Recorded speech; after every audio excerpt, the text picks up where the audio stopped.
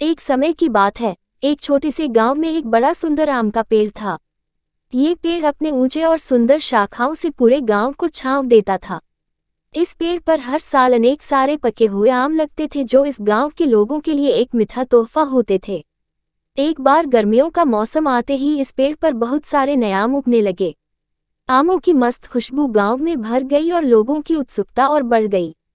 सभी लोग बस एक ही बात सोचने लगते, आम कब पकेंगे?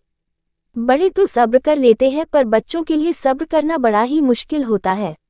उन दिनों, एक नन्हा बच्चा उस आम के पेड़ के नीचे बैठ जाता और आमों को घूर घूर कर देखता रहता। उस बच्चे को बहुत उत्साह महसूस हो रहा था, क्योंकि वह बड़े और स्वादिष्ट आमों की खुशबू में खो जाता था।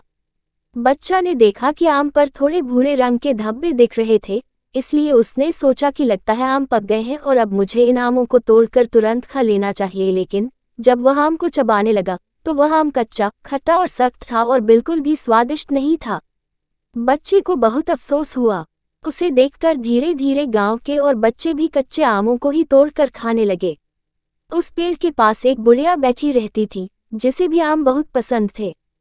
परंतु वह आम को तब खाना चाहती थी, जब वह पूरी तरह पक जाते। बुढ़िया बहुत संयमित थी और उसने बच्चों को समझाने के लिए अपने घर फ्रूट पार्टी पर बुलाया और बताया कि यह आम हमें कभी भी कच्चे नहीं खाना चाहिए।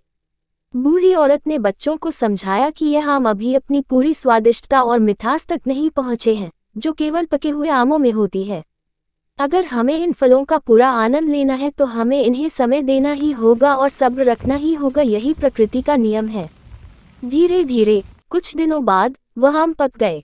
उनका रंग गहरा पीला और लाल हो गया था और उनकी मिठास भी बढ़ गई थी।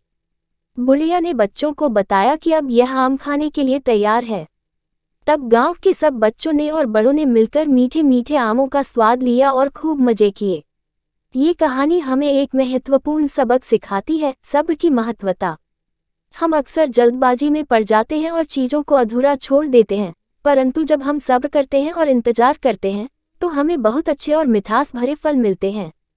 जीवन में सब्र रखना हमें समय और परिस्थितियों को समझने की क्षमता प्रदान करता है। सब्र हमें सहनशीलता और धैर्य का संकेत देता है और हमें अच्छे नतीजों का इंतज़ार करने की कला सिखाता है। जब हम कुछ पाने के लिए इंतज़ार करते हैं तो हमारी मेहनत और सब्र का फल हमें मिठास और सफलता के रूप में मिलता है। इस गाँव में वास करने वाले लोग ने ये सबक सीखा और जब वह आम पूरी तरह पक गया तो सबने उसे बड़े आनंद के साथ खाया और इस अनुभव से उन्हें अपनी ज़िंदगी में सब्र और धैर्य की एक महत्वपूर्ण ज़रूरत का एहसास हुआ।